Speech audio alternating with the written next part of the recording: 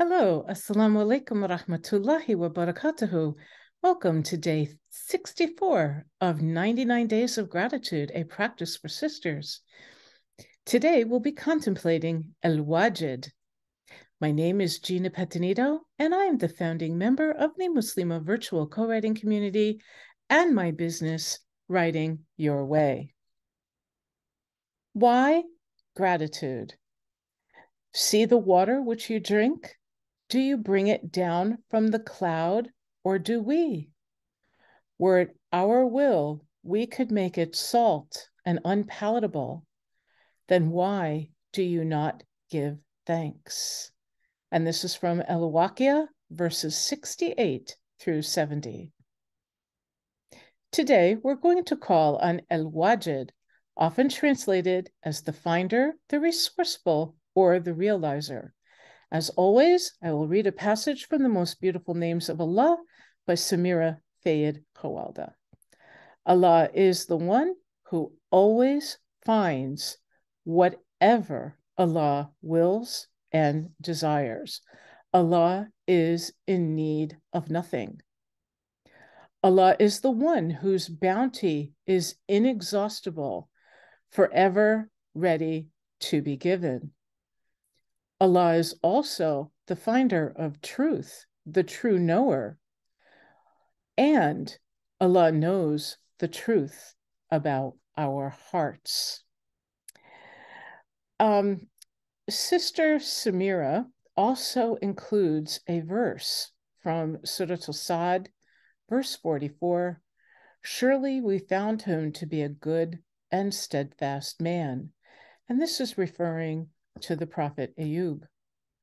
And so, my dua for today, Ya El Wajid, always find me a good and steadfast person as you found your servant Ayub. My gratitude item for today I am grateful to El Wajid for all that you give me.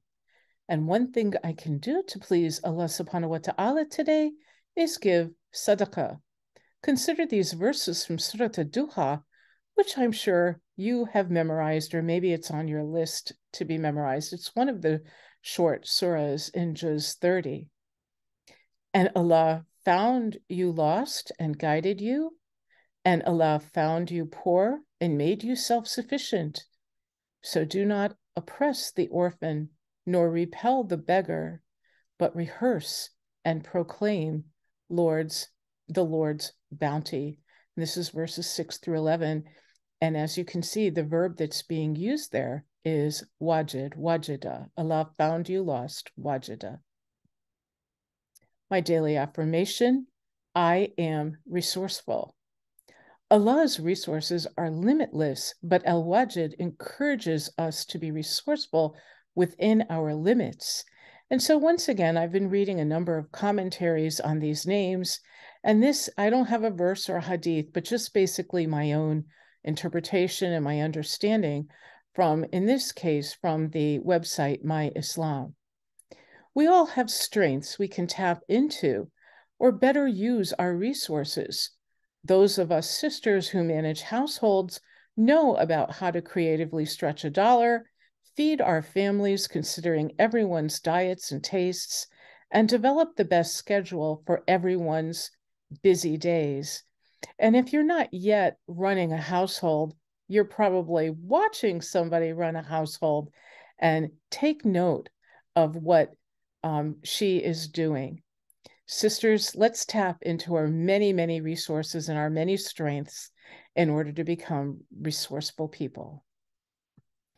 Jazakumullah khair to Sister Kate Hepburn of Finding Sakina for encouraging this practice, for Sister Samira Fayyad Khawaldeh for writing the book, The Most Beautiful Names of Allah. As always, you can purchase the paperback version from the link below this video. Jazakumullah khair for all of you for spending this time with me. A shout out to the wonderful artists and photographers used in this presentation. Assalamu alaikum wa rahmatullahi wa barakatuhu. See you on day 65.